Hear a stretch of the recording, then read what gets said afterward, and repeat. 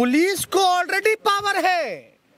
तो आतंकवादी आएगा कोई बम रखेगा तो क्या जाकर के ऑर्डर लेकर के आएगा मजिस्ट्रेट से? तब जाके गिरफ़्तार करेगा कार्रवाई करेगी पुलिस गोली मारेगी। नीता देवी का बाल खींच के सारी खोल करके घसीट करके जो ले जाने का काम किया गया आज का दिन जो है काला दिन के रूप में देश की जनता याद करेगी। तेजस्वी जी अब आगे की रणनीति क्या होगी? संघर्ष होगा। आप लोग भागीदार बनिए आज बिहार विधानसभा के कार्यवाही के दौरान थोड़ा साइड एक काला कानून पेश किया गया, जिसके विरोध में आज हम सब लोग खड़े थे। और बिहार के ही नहीं, देश के इतिहास में ऐसा होगा कि सदन के अंदर पुलिस को बुलाया गया।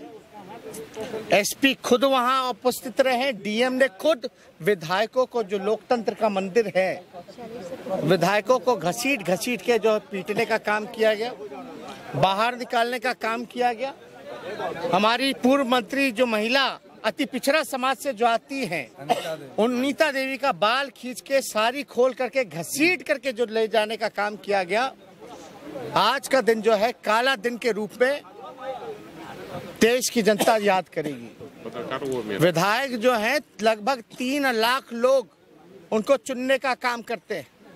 आप सब लोगों ने वो फुटेज देखा होगा जहाँ एक पुलिस के एक अधिकारी जो है, लात से, जूते से जो है, वो विधायक को पीटने का काम कर रहे हैं। और ये सारा इशारा कार्रवाई मुख्यमंत्री द्वारा की गई। बड़ा भयावक नज़ारा था जब इस तरह का काम नीतीश कुमार जी के निर्देश पे किया जा रहा था। हम जब सदन में रहते हैं तो नीतीश कुमार गायब रहते हैं। अभी नीतीश कुमार जी के भाषण को हमने सुना। नीतीश कुमार जी समाजवादी के नाम पे कलंक है। आज लोहिया लोहिया जी की जयंती के अवसर पर, वही लोहिया जी जो कहा करते थे सड़कें अगर खामोश हो जाएँ तो सदन और सरकार आवारा हो जाता है। आज क्या दिन है? सुबह सुबह माल्यार्पण कर रहे हैं मुख्यमंत्री लोहिया जी पर। और वही सदन के अंदर उनकी सारी विचारधारा को तार तार करने का काम किया है। आज शहादत दिवस के रूप में लोग भगत सिंह, सुखदेव, राजगुरु ने जो कुर्बानी दी, उसके रूप में मनाया जाता है। और भगत सिंह अंग्रेज़ों के खिलाफ लड़ते थे। और जो कानून अंग्रेज़ों ने लागू किया था, वही कानून आज के दिन नीतीश कुमार जी ने लागू किया है। आप समझ सकते हैं। आज के दिन। अब काला कानून क्यों मुख्यमंत्री बड़ा प्रवचन दे रहे थे? बोध गया का? कि आतंकवादी आ जाता है ये हो जाता है। तो आतंकवादी आएगा, कोई बम रखेगा तो क्या जाकर के ऑर्डर लेकर के आएगा मजिस्ट्रेट से? तब जाके गिरफ़्तार करेगा, कार्रवाई करेगी पुलिस, गोली मारेगी। सदन के अंदर बोल रहे थे कि नहीं बोल रहे थे? मुंबई में जब घटना हुई 9/11 याद है, छब्बीस ग्यारह? छब्बीस से ग्यारह जब घटना हुई तो क्या पुलिस के लोग वारंट लाने गए थे कि कार्रवाई कर रहे थे?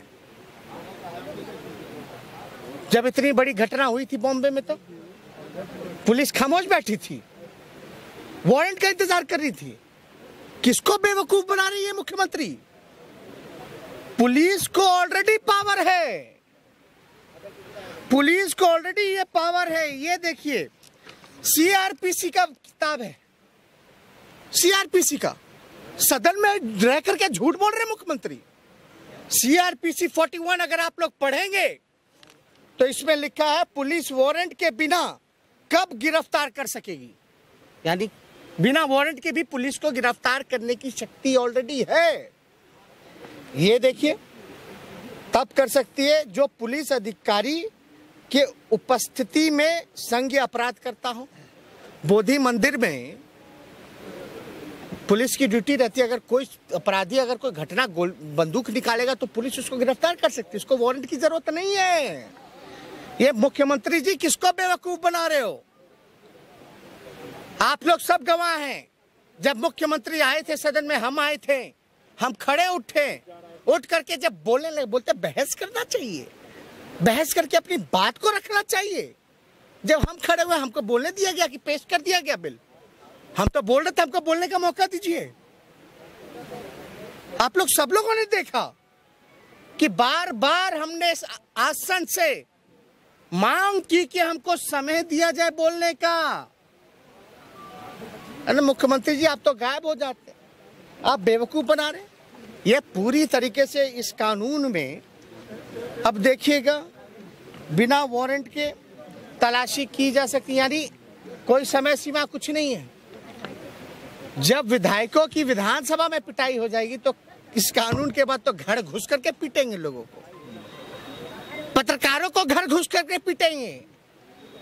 कोई वारंट कोई चीज़ की ज़रूरत नहीं है। इसमें बड़ा अजीब लिखा है कि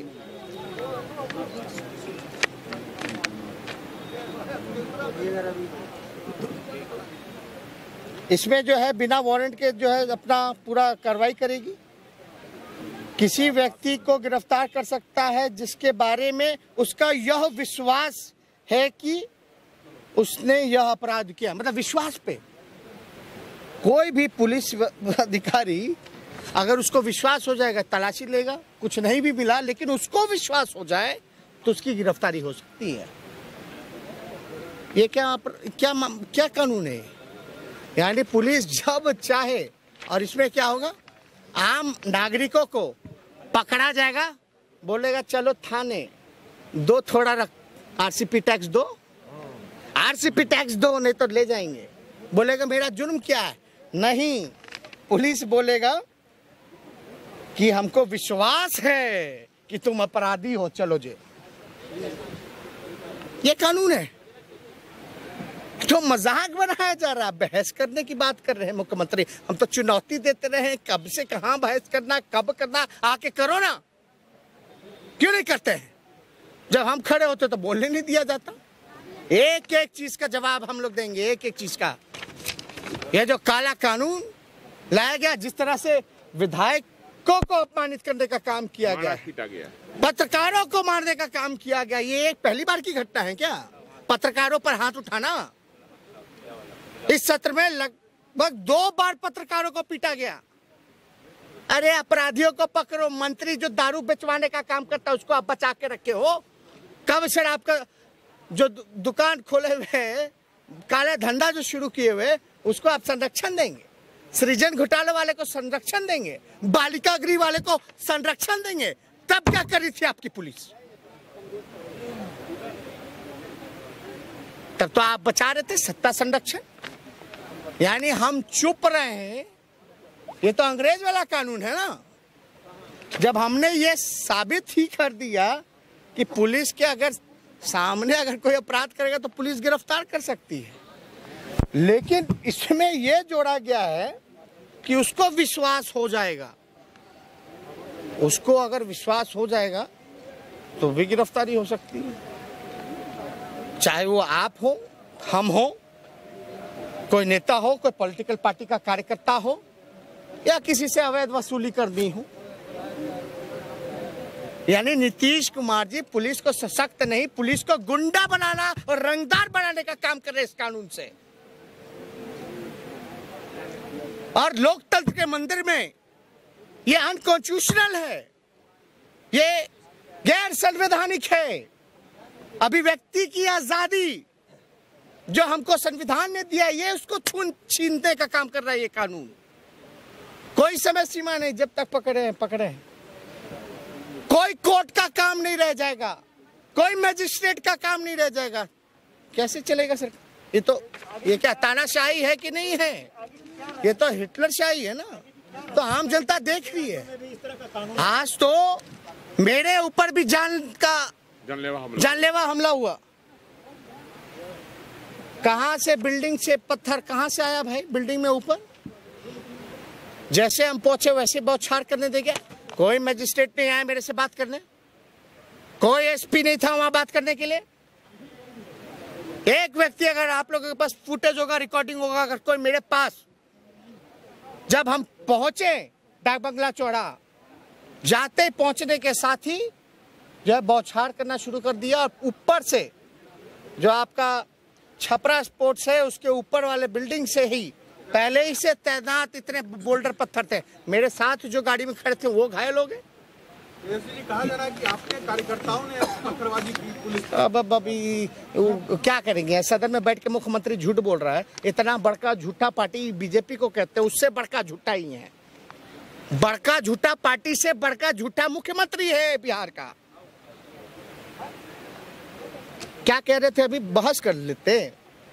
हम तो चाहते थे बहस कर लें अभी तो वही थे जब हम खड़े थे तो स्पीकर को क्यों नहीं बोले? जब हम बोले कि सरकार सुनना चाहती है तो खड़े होकर के बोलते हैं आसन को कि समय दे दीजिए नेता विरोधी दल को। क्यों नहीं बोला? क्यों नहीं बोला गया? बोलना चाहिए था कि नहीं? अब जब हम नहीं हैं सदन के अंदर ज़बरदस्ती मार पीट करके विधायकों को पुलिस बल का प्रयोग करके डीएम एसपी लात घुसा मार करके भगा के तब आए हैं मुख्यमंत्री भाषण देने। खुद आते हाउस को कॉन्फिडेंस में लेते। तो ये काम तो किया नहीं मुख्यमंत्री। जी, कहाँ गए? अब जो है खाली हो गया तो उनकी आत्मा को संतुष्टि मिल रही है। अपनी नैतिकता को उन्होंने बेच दिया है। इसलिए आज का और आश्चर्य की बात है। इतनी घटनाओं के बाद वो डिनर पे जाएँगे। सांस्कृतिक कार्यक्रम में भाग लेंगे। इससे ज़्यादा बेशर्म मुख्यमंत्री पूरे हिंदुस्तान भी नहीं होगा। उन्होंने शर्म और नैतिकता को बेच दिया है। के मंदिर में लोकतंत्र की हत्या की। है लोकतंत्र के मंदिर में पुलिस का प्रवेश पहली दफ़ा हुआ है। लोकतंत्र के मंदिर में पहली दफ़ा पुलिस का प्रवेश हुआ है। पुलिस अफसरों का पुलिस घेराव हम लोग तो चैम्बर के बाहर लोग था। अंदर की भी बात करी हाँ। पहले तो चैम्बर ही तक ना यहीं से उठा उठा के पीटा गया ना। पहले पत्रकारों से शुरू किया गया। आप लोग क्या कर रहे थे? विधायक को खा अध्यक्ष को खा रहे थे? आप लोग बाधा प्रकट कर रहे थे? क्या पत्रकार बाधा? क्यों पिटाए पत्रकार? मेरा सवाल, हमारी छोड़िए ना। हम लोग लड़ाई करेंगे, संघर्ष करेंगे। लेकिन आप लोग अपने बारे में सोचिए। अब ये दिन आ गया। जब लोकतंत्र के मंदिर में ही पत्रकारों और विधायकों को पीटा जा रहा है तो इस कानून के बाद सोचिए क्या होगा आपके घर में उठा करके पीटेंगे है है नहीं नहीं हमारे साथ मारपीट नहीं हम देखे हम झूठे आदमी नहीं। लेकिन हमारे लोगों के साथ जो है वो मारपीट की गई है जिस प्रकार से महिला अनीता जी वहाँ हैं और घायल है। पर पैर चला नहीं जा रहा पूर्व मंत्री है उनको बिहार पुलिस की महिला आकर के घसीट करके लेके गई सदन से बाल बाल सदन बाल से। बाल बाल खींच करके गई अति पिछड़ा समाज से अति पिछड़ा